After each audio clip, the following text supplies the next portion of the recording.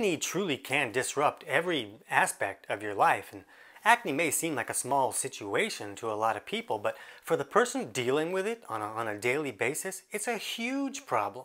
Finding the right answers for your acne truly can change every single thing that you experience. So in this video, you're going to learn about the most common underlying cause for acne. You're going to learn how acne originates from the inside out. So any product or cream that you're using topically for acne would be like turning on the water hose and then trying to push the water back up the hose with a leaf blower. That's, that's not going to work so great, right? So in this video, instead of using a leaf blower, you're going to learn how to simply turn off the garden hose. That's, that, that's a better option. So do not go anywhere. Life-altering information is on the way.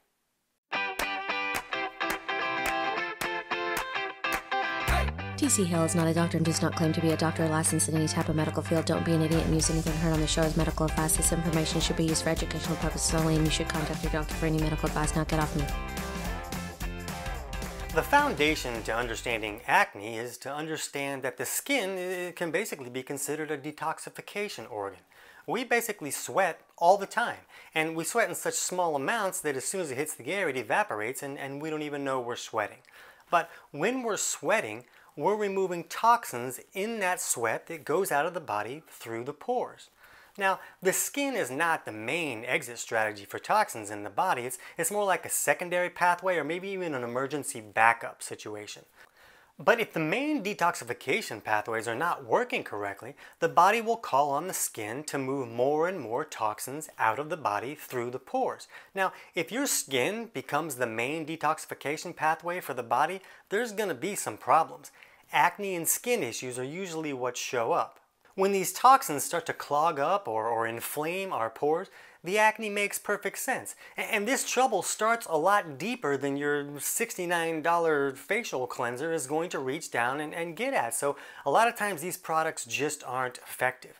Go down to the comments section right now and let me know what you've used to try to improve your acne and if anything has brought you any type of relief. Most people know that the liver is in charge of filtering out toxins in the body. Now, the kidneys can help out a little bit too, but uh, the liver is the captain of the detoxification ship.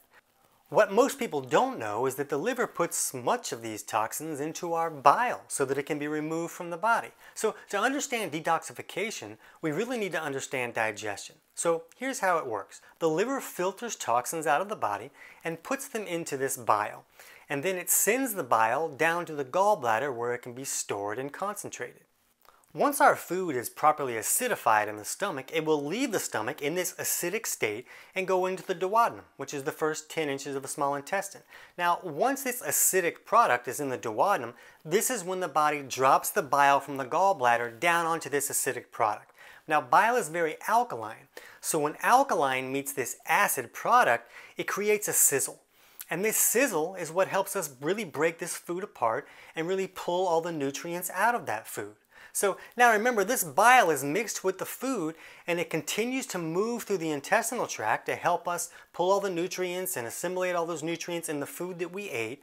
And most of it eventually goes out the back door when we poop with all the toxins that the liver filtered out of the body and put into the bile. So as long as bile is flowing correctly, the trash gets taken out and the skin can remain a secondary player in the detoxification game. Here's a problem. There's a wide variety of issues in the industrialized world that can cause the bile to become too thick and sticky to flow correctly. This is so common that we probably see in about 60% of our clients that these folks need help getting their bile thin so that it will flow properly.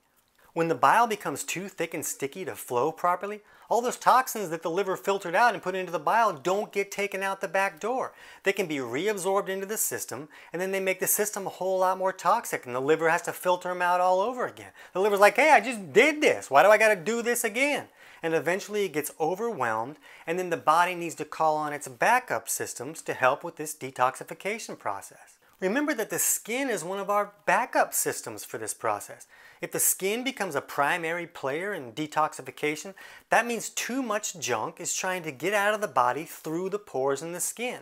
That would be like trying to poop through your skin. Like you know for a fact that that's not going to go well. So when too much of this junk is trying to go out through the skin, it makes perfect sense that the pores would get inflamed or clogged and create a lot of skin or acne type issues. The pores were not designed for this level of responsibility when it comes to detoxification. So, of course, the lack of bile flow already makes perfect sense for acne, but I'm not even done yet. There's more. Bile has another crucial role that we haven't even talked about yet. Beyond taking all of the toxins that the liver filters out and removing them from the body, and beyond coming down and neutralizing the acids that leave the stomach so we get that sizzle and we can pull all the nutrients out of our food, beyond all that, bile is also like a soapy substance that helps us emulsify or break down our fats. So when these dietary fats that we consume can't be digested correctly, they become toxic and they become a burden that the body has to try to figure out how to get rid of. So when bile isn't flowing correctly, not only can toxins get pushed out through the pores in the skin, so can undigested toxic fats. So even if you eat a healthy fat, if it doesn't get broken down correctly, it can rot or ferment and just turn into this toxin, and then the body's going to try to push these toxic fats out through the skin. So these toxic fats are really good at clogging up the pores and creating acne or, or cystic acne or other major types of skin issues. Now there's a lot of things that can thicken up the bile so that it won't flow correctly and like you know grains is a big one for a lot of people. Uh, processed foods can be really problematic and thicken up the bile and so can a low-fat diet which was very popular back when we had parachute pants and a lot of people think is still the way to go today. When you're eating a really low-fat diet you're not consuming a lot of dietary fat so the bile doesn't get called on a whole lot to help emulsify those fats and then it gets backed up and it becomes too thick and it doesn't move correctly. High estrogen levels can also be a problem. And there's a lot of medications today, you know, things like uh, birth control and a lot of other medications that can really raise the estrogen levels. And high estrogen seems to have the ability to thicken up that bile so it won't flow correctly. There's also an imbalance at the, at the cellular level called a catabolic imbalance that can thicken up our bile, and this imbalance is, is very common as well. We'll talk about some steps that you can take to thin your bile, but first let's look at some markers that can help you figure out if you might be having a problem with bile that's not flowing correctly. Just keep in mind that most people are not going to experience all of these markers. You may be dealing with only one of these markers and that can still be enough to consider that you might need to take some steps to get the bile thin so that it'll flow better. The first markers include a light colored stool, like if your stool is lighter than the color of corrugated cardboard, or a loose stool. Remember the bile helps to neutralize the acids that leave the stomach, so if a stool is too loose and fast, sometimes it's because bile isn't flowing well. And bile also makes our stool darker, so if your stool is sometimes lighter, that can be a strong sign that bile is not flowing correctly. Here's another big marker, it's acne. Yeah, acne is so common with poor bile flow that we actually use it as a marker to consider that, hey, maybe the person needs some help with their bile if they have acne or some type of skin issue. So it's a really big marker. Nausea can be a big marker, uh, especially if you are just uncomfortable after eating a higher fat meal, like if you seem to have trouble digesting fats, that can be a big marker. Also, if your saliva pH is 6.5 or lower, or we use some 10 parameter urine dipstick sometimes, and if you show bilirubin or urobilinogen on that dipstick, those are strong signs that bile is not flowing correctly. So we have a free four week course where we teach people how to run these simple tests and look at these factors and figure out if they may need to put some effort into improving bile flow. And we'll put the link to that totally free course down at the bottom in the description. Now I'm going to give you some steps that you can take to work on thinning this bile so it'll flow better. But at the end of this video, I'm going to give you the link to our five ways to improve bile flow video. So be sure to watch that because we go into a little bit more depth there and you'll get some more insights when you watch that video. Also, if this is really shedding some light on your acne and you're finding this information very helpful, go down and click on the like and subscribe button right now because that tells YouTube to show this video to more people and you know what this is like to deal with this issue. So you want to help other people find their answers too. So click the like and subscribe button. Now reducing the amount of grains or processed foods that you consume can be a big help, but let me start with the easiest step and one of the most effective. We like to see people use a product called BeetFlow from Empirical Labs. Now we're not the manufacturers of this product and this isn't a, a paid promotion video or anything like that. This is just what we have found to work well and this is what we use with our clients. And the reason it works well is because BeetFlow contains a lot of concentrated beet greens juice. It's a concentrated form of that. So don't look for beets or think that if I eat beets it's going to thin my bile and, and don't get a cheap beetroot product. Beetroot doesn't really do anything. It needs to be the concentrated beet greens juice. So this helps to really thin the bile and get it flowing correctly. So this is always the first step that we want to take, and I'll put the link to where you can find that in the description below. The next step is, eh, maybe you're not so fond of it, but coffee enemas and coffee suppositories can be really effective at opening up that biliary pathway and dilating it so the bile can flow a little bit better.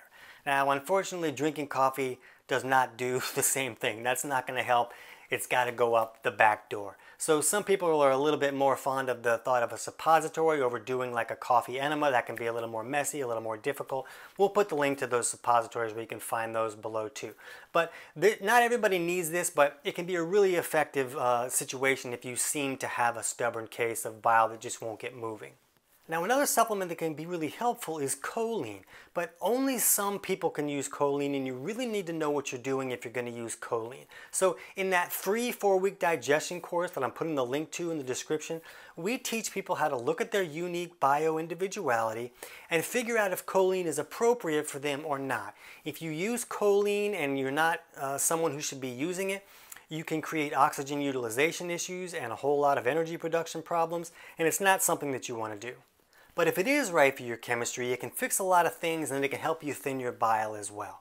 The next step that can be really helpful is to bring high estrogen levels down. So if you have high estrogen or you're taking some kind of medication that's really raising estrogen, then you can talk to your doctor about finding a way to maybe use something different or to reduce that so your estrogen levels aren't so high because that seems to really, really have the effect of thickening up the bile so it won't flow correctly.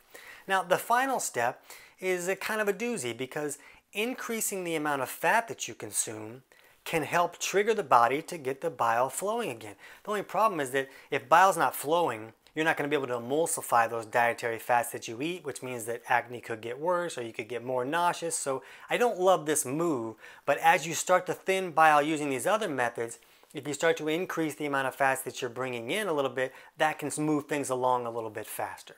Now, if bile's been backed up for a decade, it might be a little harder to get it moving. So for stubborn cases, we like to see people take that BeetFlow supplement and do what's called a BeetFlow flush. So at the end of this video and in the description below, I'm going to give you a link to our how to do a BeetFlow flush video so you can do that. Because some people, if they do that, you know, once a week for a few weeks, it'll really give it a boost and get things flowing a lot better. And we'll show you how to do all that in that video. So poor bile flow is not always the cause of everybody's acne, but for most people it seems to at least be a contributing factor. So go down and sign up for the free course in the description and kind of look at your body chemistry, understand how to do that. This course will walk you through how to look at everything and then it'll walk you through the steps that you can take to get the bile thin so that it'll flow correctly. For now, you want to watch our 5 ways to improve bile flow and our how to do a BeetFlow flush videos. So click on the pause button so that you can open these videos in a new tab and watch both of them. You're going to want to see them both. I can't wait to hear about your results.